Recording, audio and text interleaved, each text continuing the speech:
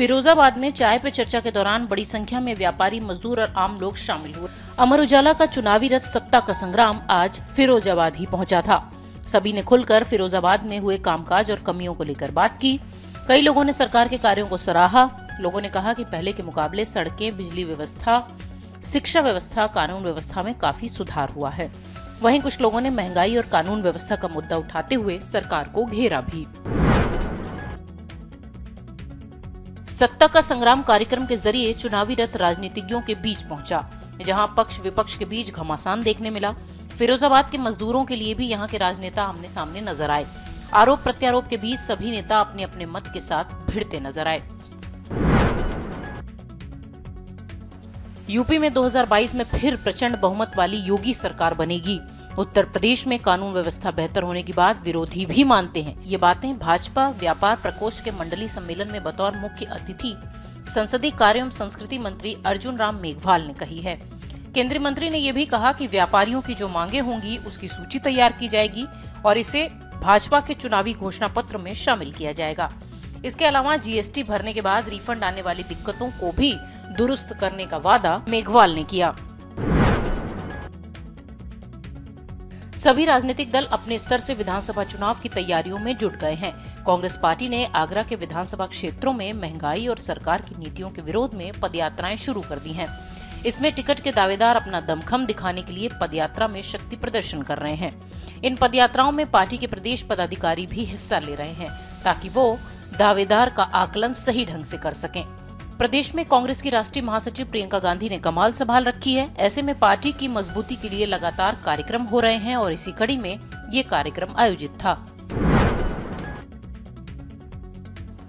Bahujan Samaj party ने प्रतापपुर विधानसभा seat पर अपने प्रत्याशी की घोषणा कर दी है।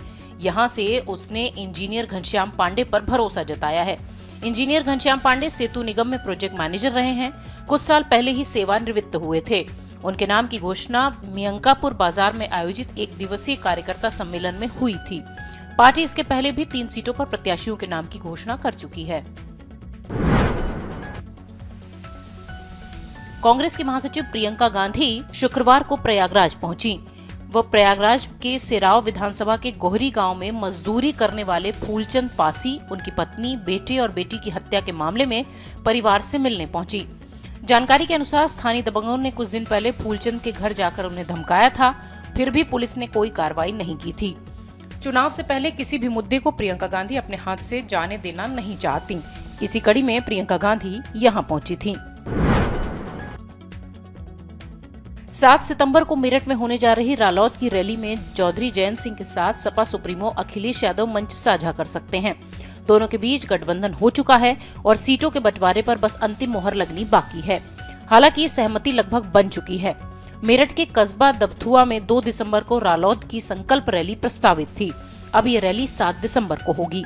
दरअसल रालौद और समाजवादी पार्टी के बीच चुनावी गठबंधन में सीटों के बंटवारे पर अभी भी बात चल रही है। लगभग 36 सीटों पर फाइनल सहमति होने की चर्चा है, जबकि चार और सीटें हैं जिन पर अभी बात नहीं बनी है।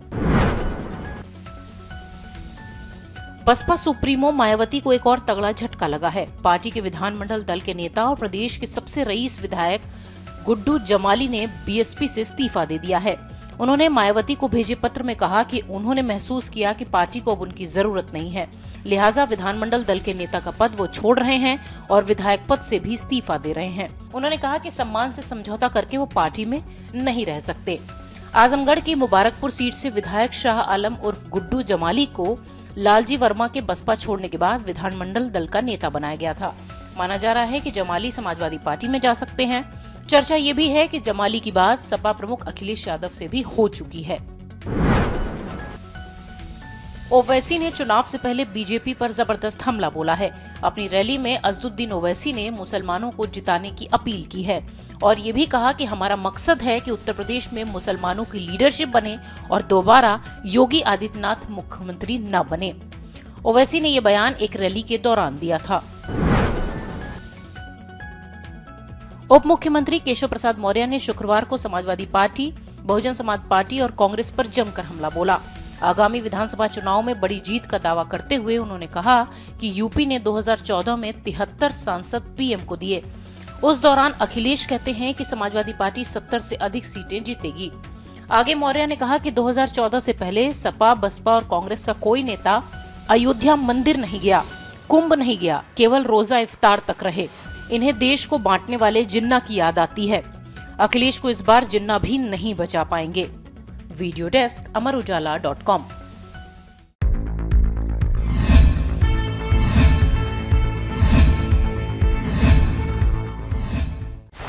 download करें अमर उजाला ऐप और पाएँ खबरें लगातार।